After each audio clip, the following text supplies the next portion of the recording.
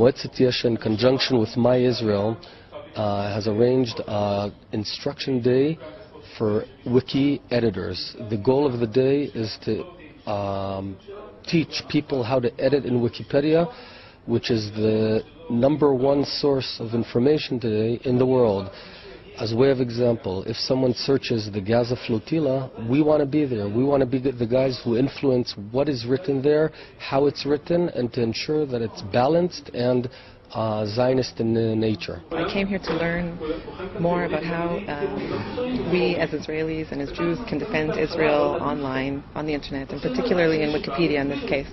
Wikipedia is a bit of a complex system and it's sometimes hard to figure out the rules.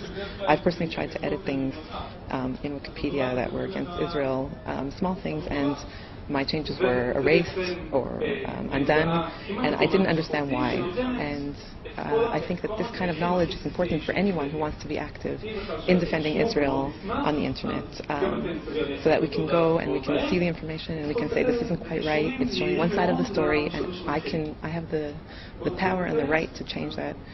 Um, and in general, it's so important for us to be online, working to uh, defend our ourselves and to prove to, to the world and to ourselves that we are just and we are right.